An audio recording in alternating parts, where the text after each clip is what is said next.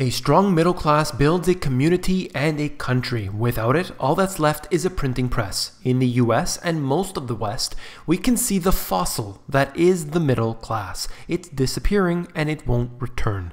We can see the pension funds going along with it. They will take, take, and take until there is nothing left. You came here for the truth, so let me unveil that for you. Today, we are going to look at two factors. One is the disappearing middle class, and number two are the pension funds that is certainly going to be following along with that middle class. So I'm going to show you this today. I'm going to cover the middle class issue as quickly as possible. There's going to be a lot of charts here that I'm going to uh, break down for you. But I really want to focus on the pension funds because I know this hits home with so many people and I cover it more than anybody out there. I don't know why this isn't more of an issue for some, but I guess it's not really cool to talk about and it's not really the thing that will get all the views and all the subscriptions for people, so they tend not to cover it. But here at the Money GPS, I know what's important to people and individuals who have told me about their situations, and I truly do want to see this thing change. So that's why I have information available to those who are interested who can come here, find out the details, find out what's going to happen, and then prepare accordingly. Let's begin. This is just showing you who is the middle income and the upper income, trying to break that all down. I'm going to show you some charts here that I'm not going to really break down in detail. You can look at them if you want. I just want to make a few points about these. Basically, my whole issue that I'm here to tell you is that the rich are getting richer and the poor are getting poorer. You might have heard that before, though, and it's never been more true today than ever before. Okay, I'm going to show you this beginning with this article. In 2015, 20% of the American adults were in the lowest income tier. That's up from 16% in 1971. On the opposite side, 9% are in the highest income tier, more than double the 4% share in 1971. At the same time, the share of adults in the lower middle and upper middle income tiers were nearly unchanged.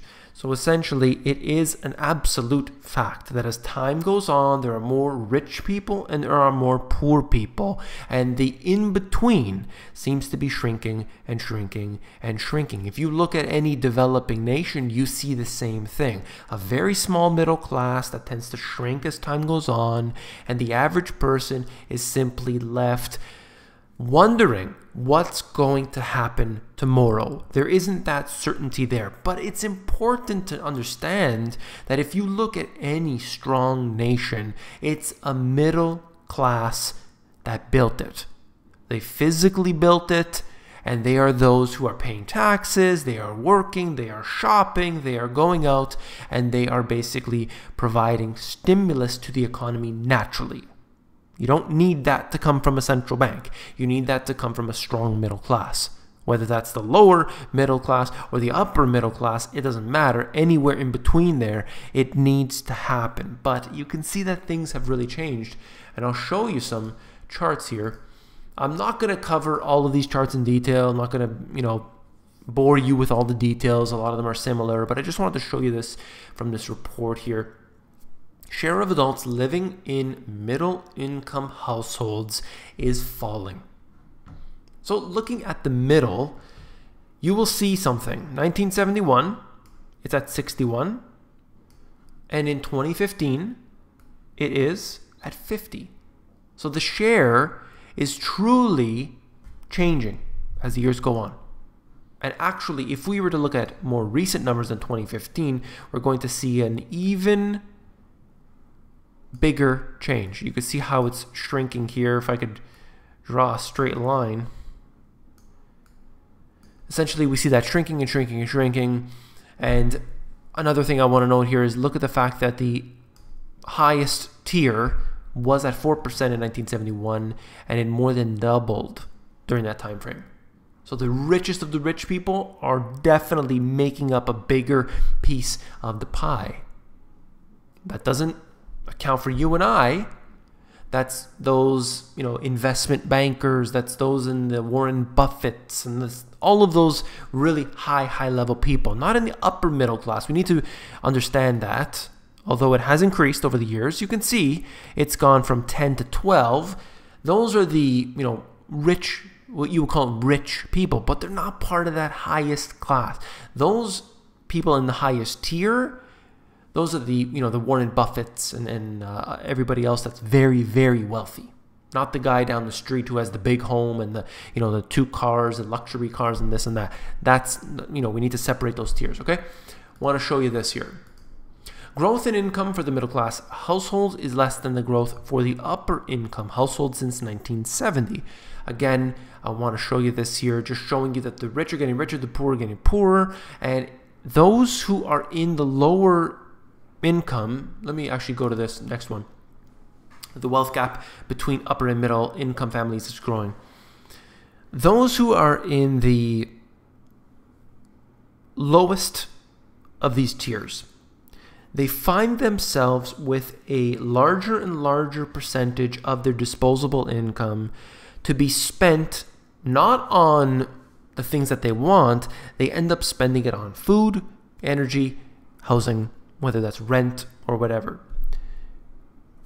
As time goes on, you would think that there would be more opportunities being unfolded for people, that they would have more wealth, that individuals could of course learn their lessons and things. But no that's not the way it's working. And we tend to find people are getting into more and more debt that's not a good thing of course you see these different um, buildings around their businesses around um, payday advance uh, cash money and all these payday loans and things like this these are expanding you see the different cash for gold, cash for jewelry, sell your goods. their advertisements bombarding the radio, bombarding TV and internet and everything else.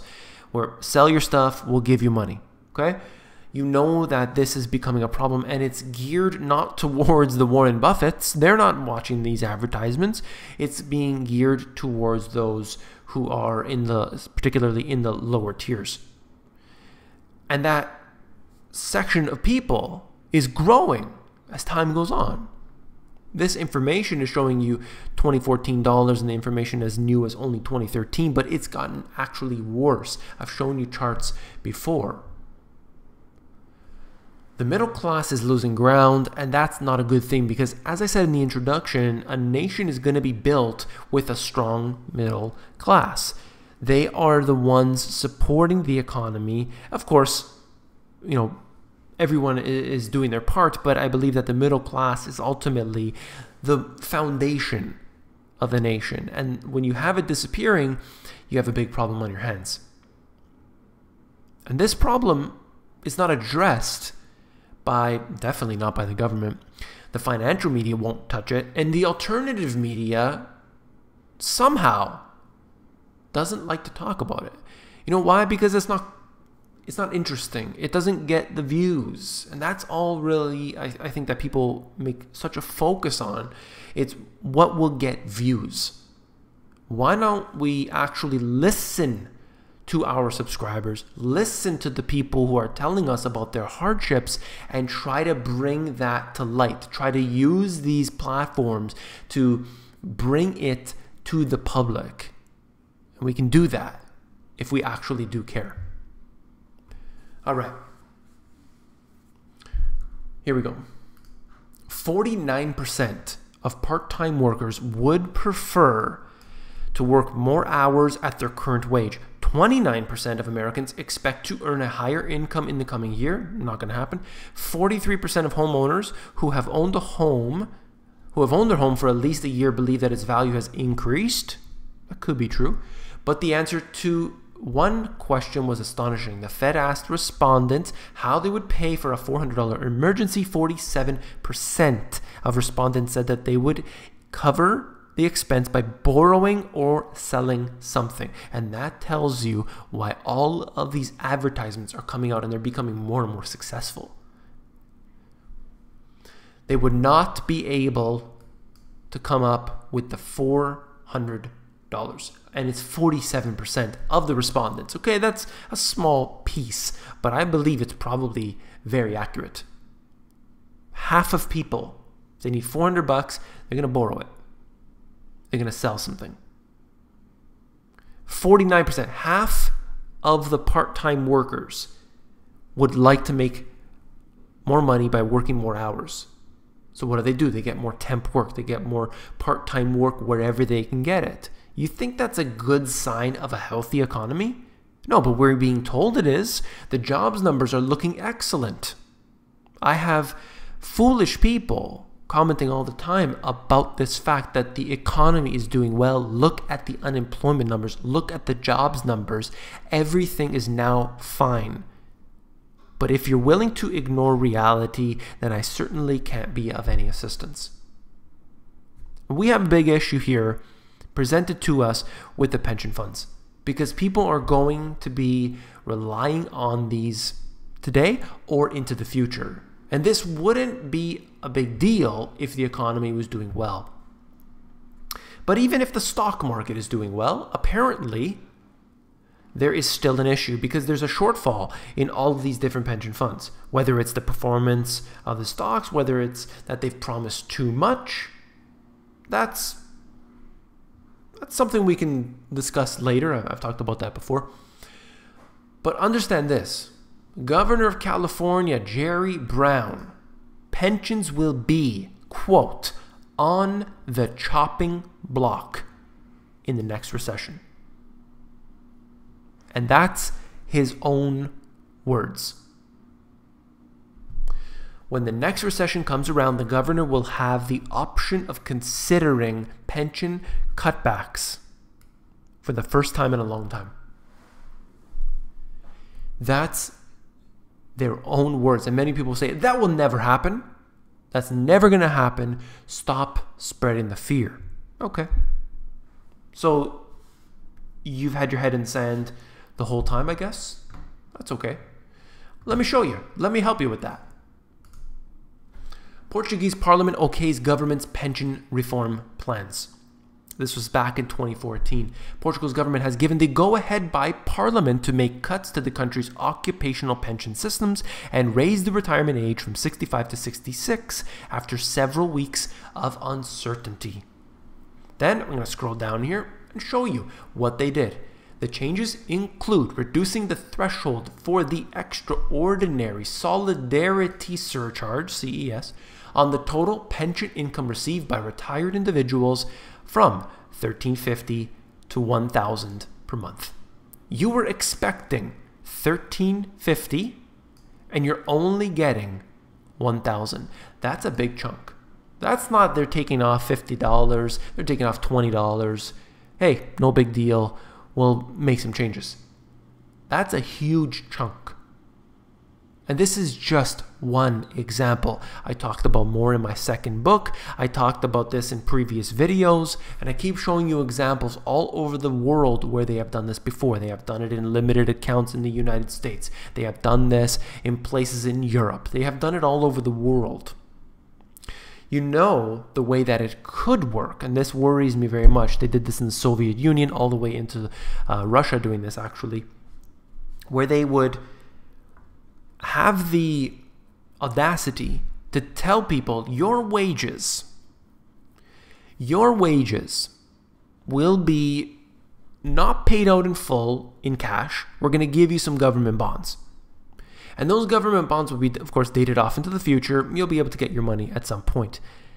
And at that point, they say, well, okay, we, we can't pay you all of it now, but what we'll do is we'll just give you a small percentage of it. And they give you just a small percentage and they've done this before, and they'll do it again. They will take people's retirement accounts, they will take people's wages, and they will replace them with future dated government bonds. I have warned about this in the past. Why? Because it's happened before and it's going to happen again. You don't need to be a genius to figure it out. Understand that it is happening today, and you are relying on all of this it's not a good thing. What can you do to change it all? Well, number one, you have to take your funds into your own hands. That means taking your money from their systems and putting it into something where you have control, like real assets. Okay, I have more videos about this, talk about it in my books, of course. But if you just want to get some free information, go to my videos in the playlist called How to and Solutions. That's a good place to start, and I hope that will be of some service to you. That's all for this video. If you found it informative, please give me a thumbs up. Last but not least, if you found the video informative, I know that you will find my books, The Money GPS, and my newer release, Global Economic Collapse, even more informative. You can flip through these books at Amazon. There are links in the description of this video. Take care.